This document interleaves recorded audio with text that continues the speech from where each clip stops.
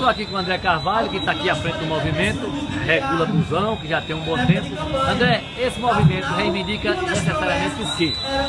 Lá com o movimento Regula Busão, ele reivindica alguns anos é, a manutenção do transporte universitário, a regulamentação do transporte universitário.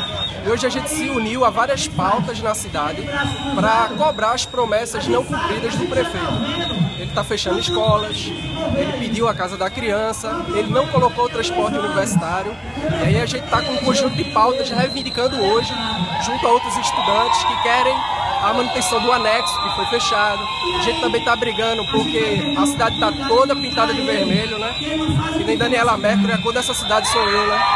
Então isso é improbidade administrativa. Uma das pautas, uma das nossas reivindicações é que o prefeito cumpra as promessas de campanha. E o que é que acontece? Hoje ele falou na rádio que o ônibus está garantido. Deve ser porque é 1 de abril, né? Não está cumprindo o que ele prometeu durante o período eleitoral. Mas com relação ao movimento Regula Busão, o que vocês querem é que a volta do ônibus para Recife, os estudantes, esse é o, é o ponto principal dessa, dessa, dessa manifestação. É uma das pautas é a do Regula Busão.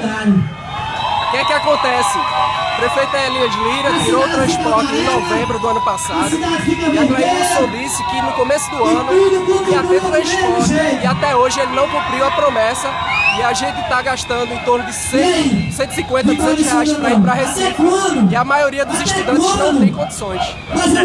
E aí, essa manutenção da pauta, caso os ônibus não voltem, qual será?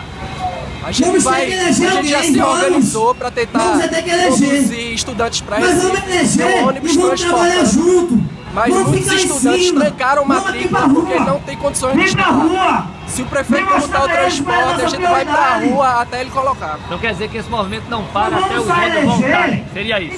Até os ônibus voltarem, mesmo ele tendo se comprometido hoje na rádio, a gente não acredita, hoje é dia 1 de abril, a gente não acredita, então a gente vai cobrar até ele colocar de volta o transporte. Ok, parabéns aí André pelo movimento e boa sorte.